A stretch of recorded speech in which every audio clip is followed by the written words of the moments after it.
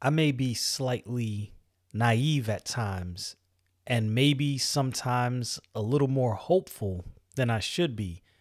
But I've always thought and I've always been taught that if a company doesn't meet the needs of their customers, they create a unique and rare opportunity for someone else to stand in the gap.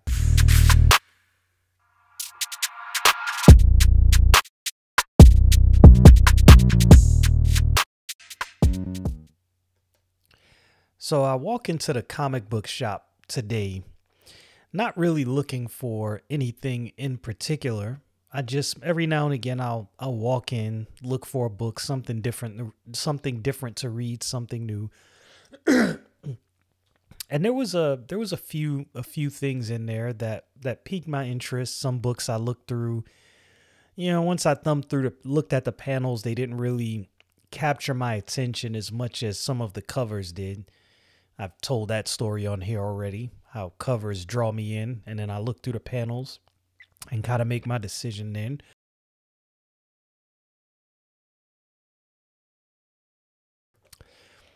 Never fails. I'll go to get on and then I'll get something in my throat or something soon as I start talking. Okay, so here's my conclusion about the scope of the comic book industry in general looking through all of the Marvel comics, because that's where I started. I'm a Marvel guy. That's where I started. And looking at all of the different books that are available for Marvel right now. So first of all, let's let's start with the the X-Men subcategory of Marvel books. My goodness. There's so many different storylines and so many different things going on at the same time that it, it, in some ways it can become daunting and you're just like yo where do i start? X-men this and x-men legends and x-men gold and x-men blue and x-men this i'm like yo this is crazy. So i heard the argument from eric july couple months ago, and he talked about that very thing. And he was talking about it from the standpoint of a new comic book collector coming in. Where do you start? And, and you know, some people responded to their credit and said, well, you just start anywhere. I'm not sure that's what you would want to do. And I think that has more to do with the psyche of people than it does with the book itself. For instance, when I was looking at all of those books, I thought to myself, man, I want I want to be at the beginning. I want to understand what's going on in all of these books. I want to understand how they got to this point. Now, if you pick up later on in any book, you're not going to be at that point, right? If if if you let's say take the Rippaverse since it's the newest IP, if you don't start from the beginning and it's 20 books in, well, you're probably going to have to go back, do some, get some backstory, search for some videos where somebody goes over the backstory or something like that, or you just won't know. So it's not that you escape that when you have any book. But I think when you when you don't have so many long running story arcs going at the same time, I think that that creates an issue. Now that that's not something just unique to Marvel. DC has the same problem. So I go over to the DC section and I was like, you know what? I want a good Batman book. I started collecting some of the Batman urban legend books. I have two of them that I still haven't read. One and two shows you how long ago I bought it. I think that started last year or the year before last. I can't remember exactly. Anyway, I have issue one and two. From what I understand, it's like one book, a story. Some some are maybe two and three books, you know, following a story, but it's independent individual stories. But then looking on the Batman section, there were so many different Batman comic books. Now, I've been a comic book reader since I was 13 years old. I, I fell off for a little bit, told that story, not gonna get back into that. So I understand this is a thing, right? There's there's different story arcs running at the same time sometimes. And you can really pick up anywhere you want to. You can get the backstory. The thing is, will you want to? Something about the human psyche. We like starting from the beginning of something. We like getting in on the beginning of something. We like to be at the start so we can all start together so we can know as much about this thing as the other people over here that know as much about this thing. I really do think there is something to that. This is where I think Eric July has a unique opportunity to capitalize on this in this regard. Now, I'm not saying he's going to avoid having this problem. I don't know.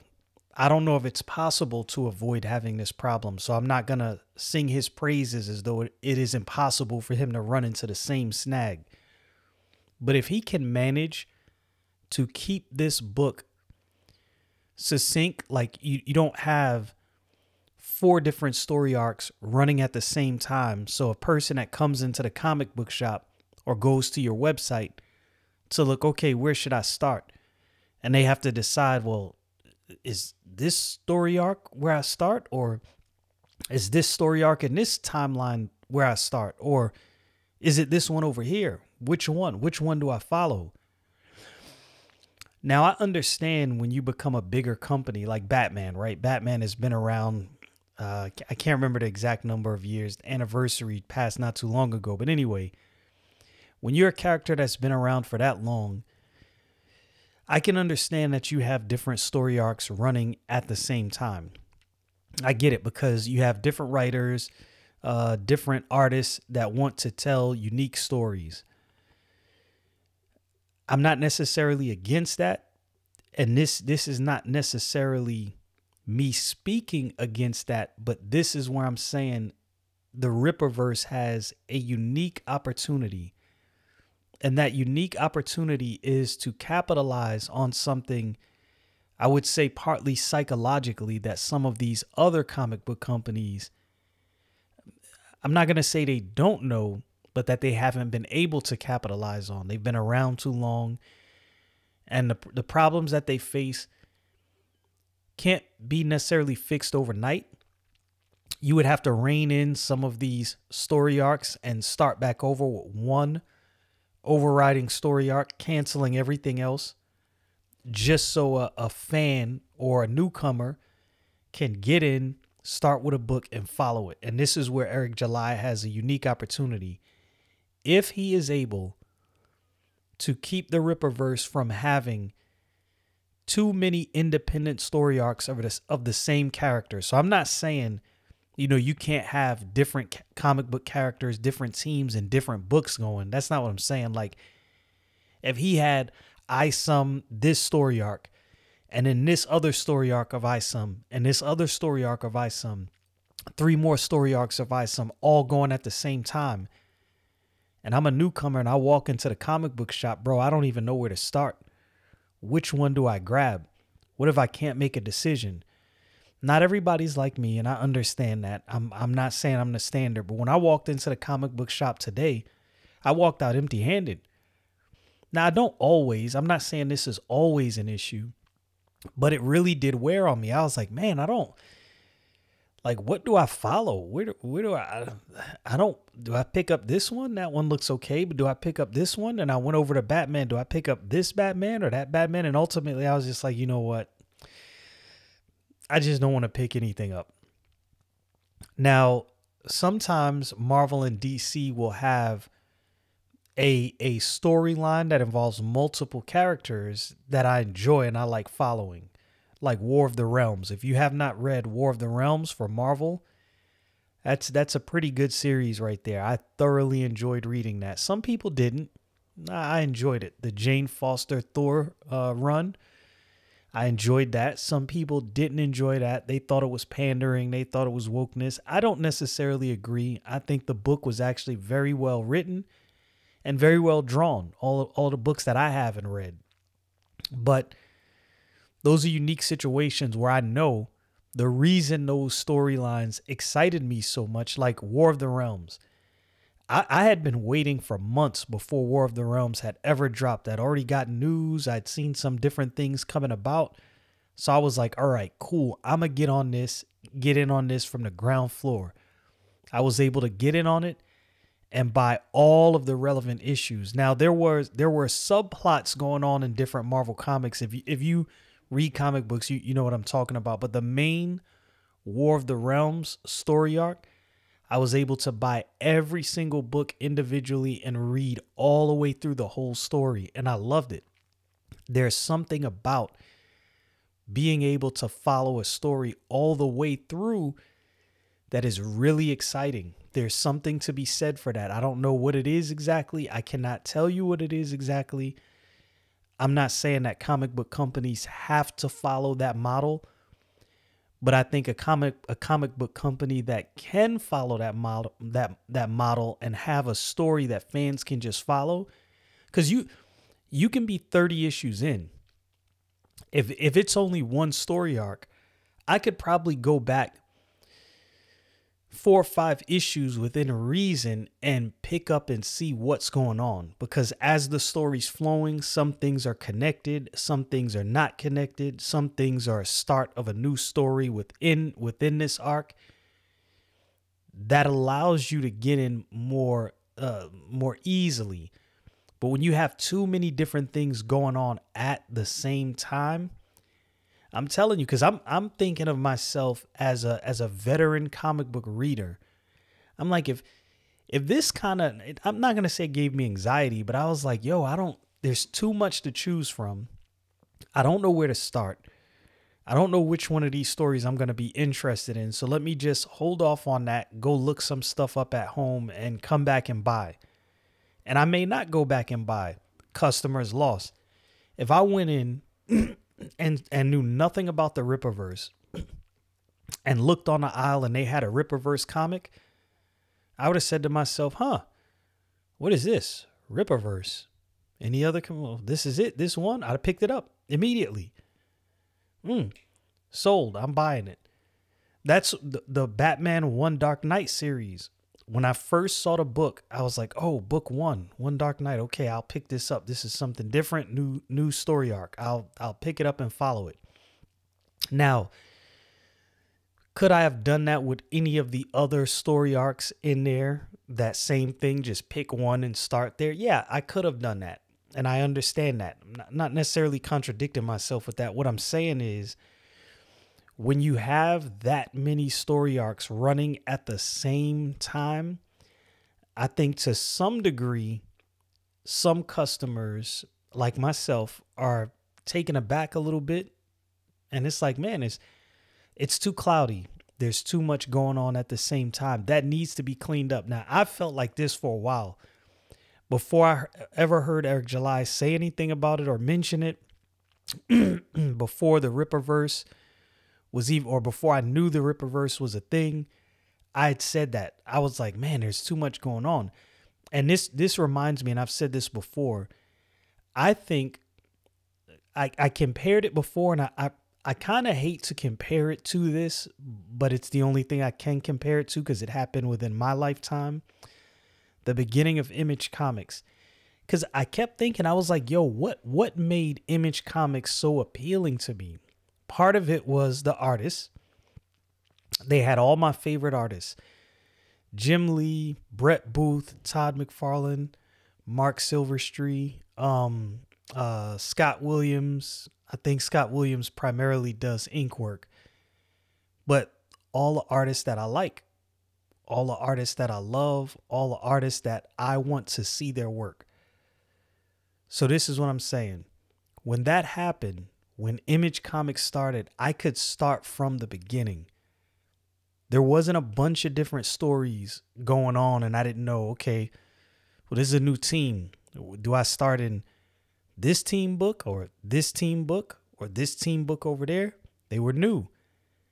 Even if even if I even if I wasn't caught up on every single issue, I could pick up whatever issue the comic book store had there and if if I was interested and if I wanted to know what happened before, I could go back and pick that up.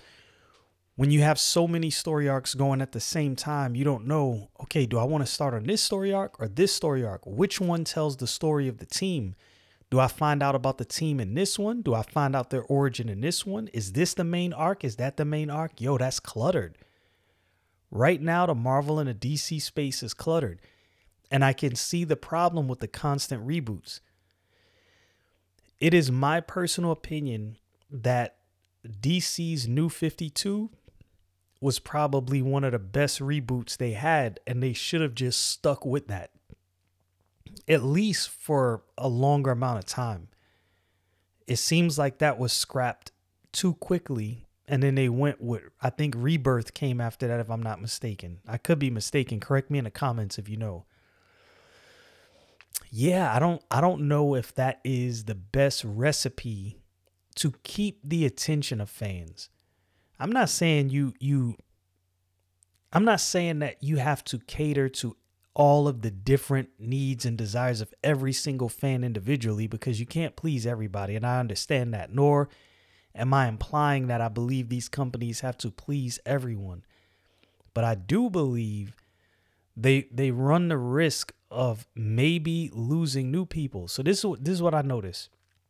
I've been going online, looking up uh, just Rippaverse in general, hashtag Rippaverse, Isom. I, I want to know what people are saying, even people that don't like it.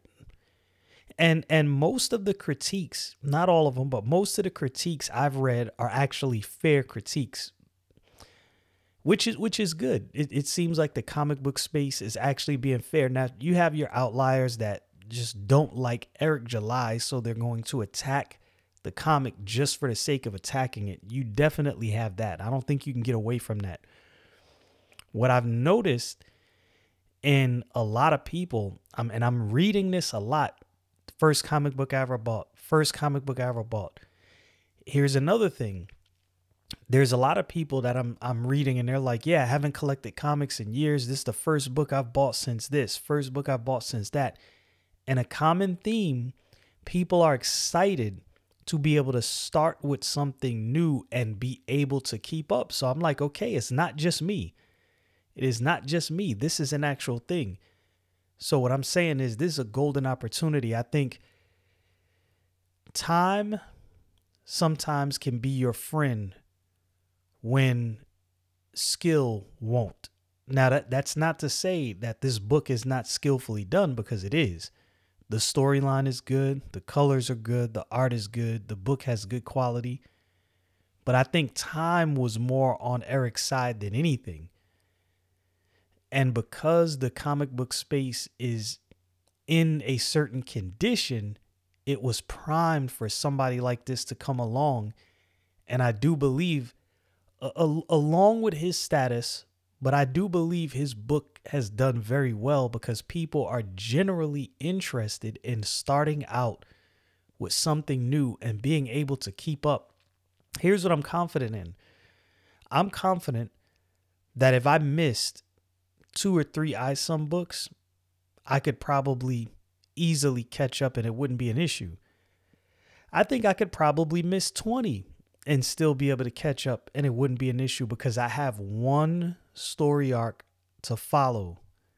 Not 10, not 12, not 30. And I really do think that's a problem within the comic book industry.